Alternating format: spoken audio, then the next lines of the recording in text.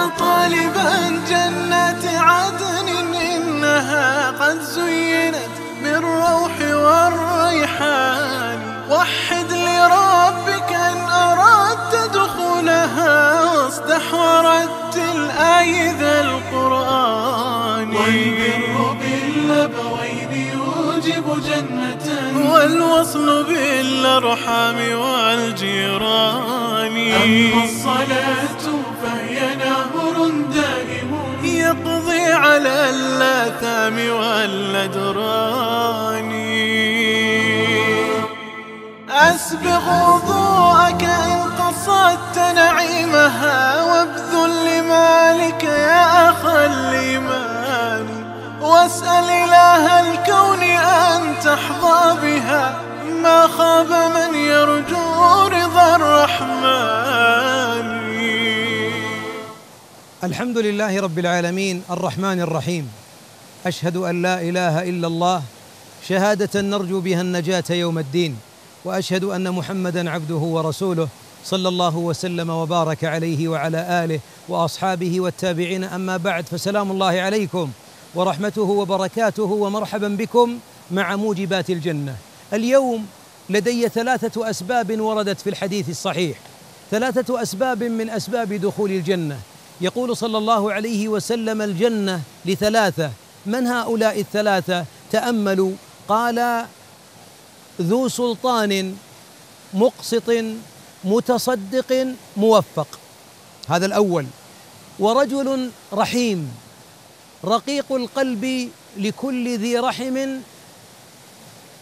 ومسلم. أي ليس فقط لذوي أرحامه بل لكل مسلم. الثالث عفيف. متعفف ذو عيال. وإليك هذه الموجبات الثلاث. الأول ذو قسط ذو سلطان. سلطان قد تكون الولاية العامة على المؤمنين فيكون مقسط أي بالحق يحكم بينهم. ومتصدق ويرحمهم فيعطيهم من ماله. ولذلك يحبونه. وقد يكون هذا ذو سلطان قد يكون الكفيل على مكفوله. المرأة على خادمتها. مدير الشركة على موظفيه. كل من كان له أمر ونهي يجب أن يكون عادل بين موظفيه بين عماله بين كل من ولي أمرهم بل ويتصدق. فإذا كان عادل بالحق يحكم بينهم ويعاملهم ويتصدق عليهم أبشر فإنها من موجبات الجنة. الثاني رجل رقيق. رجل رحيم رقيق القلب. رحيم على كل مؤمن وتزداد رحمته بذوي أرحامه ذوي القربى يصلهم حتى ولو طاشوا عليه حتى ولو قطعوه حتى ولو منعوه حتى ولو هجروه فإنه من رحمته بهم الا يعاملهم بما يعاملونه به. يصل من قطعه. رحيم على جاهلهم رحيم على إلحاحهم على بخلهم على فجاجتهم على غلظتهم هذا من أهل الجنة بل وعلى كل مسلم. ولذلك صاحب القلب الرحيم من أهل الجنة والله يقول لنبيه عليه الصلاة والسلام أنه لو كان فظا غليظ القلب لانفضوا من حوله. ولذلك كان من أسباب أنهم التفوا عليه الصلاة والسلام أنه كان بهم رحيم وكان بالمؤمنين رحيما.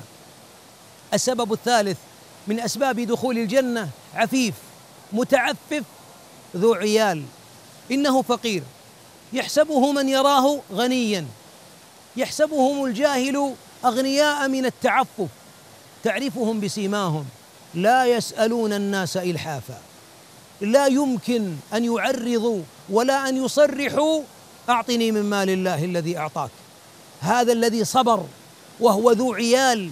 وصاحب العيال معاشر الأحباب يحزنه ويبكي قلبه قبل عينه حاجة أبنائه وهو يرى ما ينقصهم ولكن العفة منعته من أن يسأل الناس أعطوه أو منعوه.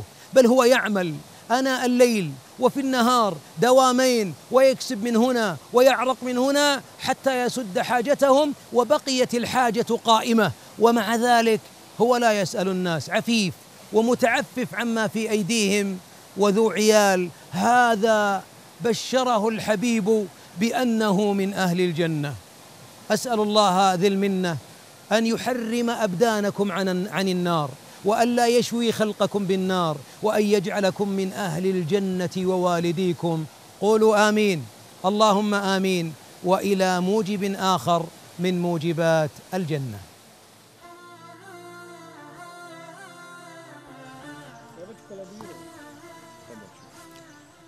الحمد لله وإلى موجب آخر من موجبات الجنة. وهذا الموجب معاشر الأحباب أن ينزل الإنسان نفسه منزلة المسلمين. فلا يأتي مع الناس شيئا إلا الذي يحب هو أن يؤتى إليه.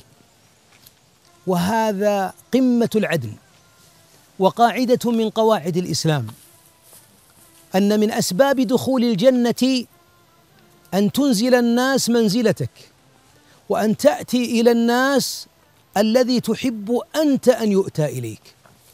في حديث أبي هريرة يقول عليه الصلاة والسلام يقول صلى الله عليه وسلم من أحب أن يزحزح عن النار ويدخل الجنة فلتأته منيته وهو يؤمن بالله واليوم الآخر. لاحظوا هذه أركان الإيمان أصول الإيمان. ثم أضاف إليها عمل من أجل الأعمال. قال ولتأته منيته وهو يؤمن بالله واليوم الآخر ولياتي إلى الناس الذي يحب أن يؤتى إليه. والله إنه العدل. تريد الناس من الناس الا يكذبوا عليك لا تكذب عليهم. الا يغتابوك لا تغتابهم. ألا يظلموك لا تظلمهم. أن يكرموك أكرمهم. أن يتبسموا في وجهك تبسم في وجوههم. أن يكرموك ويضيفوك ويدعون لك افعل ذلك.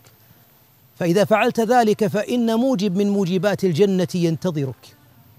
إن الله يزحزحك بهذا من النار. ومن زحزح عن النار وأدخل الجنة فقد فاز. فقد فاز. أحبابي كثير من الناس حياته حياة التطفيف. ويل للمطففين الذين إذا اكتالوا على الناس يستوفون. إذا كان الأمر لهم فهم يأخذون الحق كاملا. وإذا كالوهم أو وزنوهم يخسرون.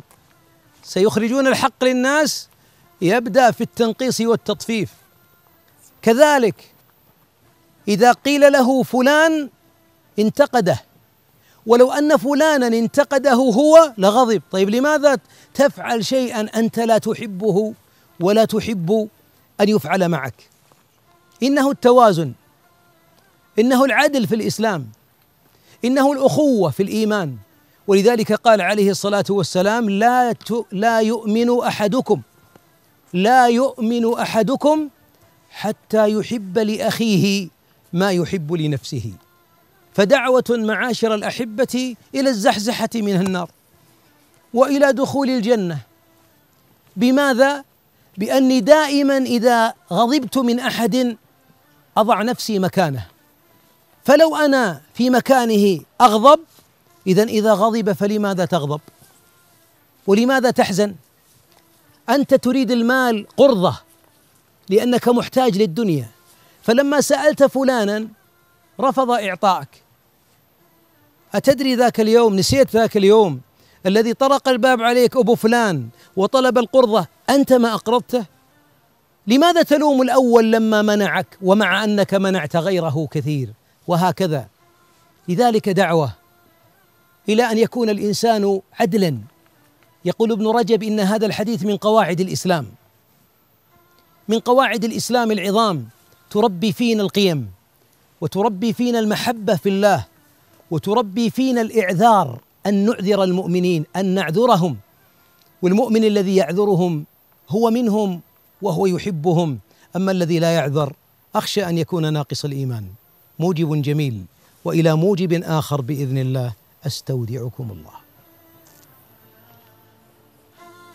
يا